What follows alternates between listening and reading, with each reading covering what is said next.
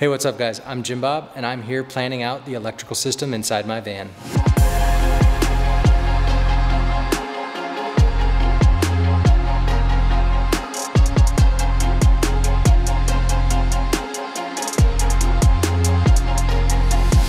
So today we're in the shop and I'm gonna be kind of going over what the van currently has and what's gonna be changing. Because in two weeks we're going to Wasatch Overland, and we're gonna be getting our high roof installed.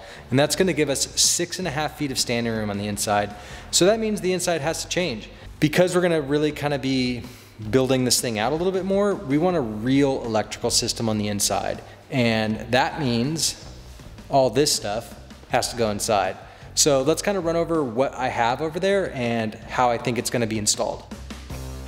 And so I'm gonna go over a couple things that are already installed on the van. Um, it does already have an SPOD. It has a six switch SPOD with the U-joint off-road mount and the U-joint switch mount. And that's gonna control kind of the off-road lights. We've got some squadrons on Vantage Optics mounts and there's an OnX6 light bar down here. Plus I've got some of these other S2s from Baja Designs that are gonna go onto the high roof as camp lights and as a dust light. And the starting battery is a full throttle FT93065 and that is just really only gonna be running the SPOD that's running kind of the lights and maybe if I ever get a winch, but it's not gonna really be running any of the house stuff. That's all gonna be over on this system that we're gonna go over today. Okay, so first up, we've got a CFX 75. That's gonna be a bigger fridge with also a freezer compartment. So we're pretty excited to have that. We also have a few different Baja Designs S2s that we plan on using as camp lights and dust lights. And we have a CTEK 20 amp onboard battery charger along with a CTEK Smart Pass 128 management system. So those will be kind of charging off the alternator and also controlling the solar. Now as for what's gonna be powering everything, it's these two DC 115 12s. They're 100 amp hour batteries from Fullriver Battery. And thank you to them for their support over the years. They have done an excellent job and I love all the batteries I've ever had from them. But we also have an SPOD Bantam that's gonna be controlling everything inside the van. And I can't wait to get it all installed but I'm not gonna be installing it in this video. This is more of just a planning video. So let's take a look inside and kind of see how we have it laid out now and what we could change. Okay, so real quick, let's kind of run through how the van is set up right now. As you can see, the CFX 55 right now just lives behind the driver's seat and it's tucked in there very well. The PLB powers it and it's worked great for short trips, but as we start moving into longer trips, we're gonna need a more dedicated electrical system.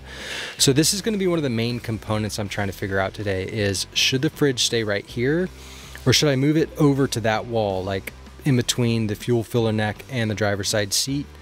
Or should I leave it just kind of crammed against the seat that way? There isn't a ton of room in here, which is a bummer being the regular wheelbase van, but I think we're gonna be able to make it work. And the other aspect I'm trying to decide is where should the house batteries and electrical system live? And I'm basically thinking that it's gonna kind of go over there underneath that corner of the bed because as you can see, Ford kind of sets up the wiring to come in through this up here and I could just as easily run it down to that. But the other option is put it back um, by the back door and underneath the bed over there. But I don't know if I really want to put everything back there. I kind of like the idea of having it right here in our old van.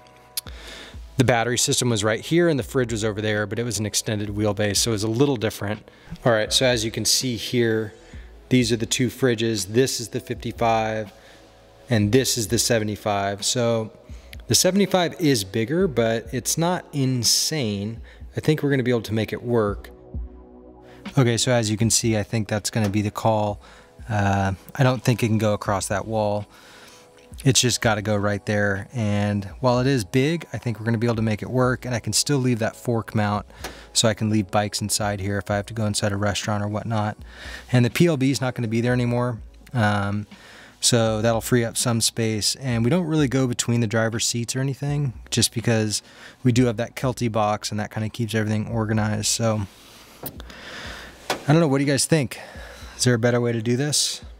that fuel filler neck really just kind of ruins it. Uh, the fridge would have to sit too far off that wall to really have it make sense to do it that way.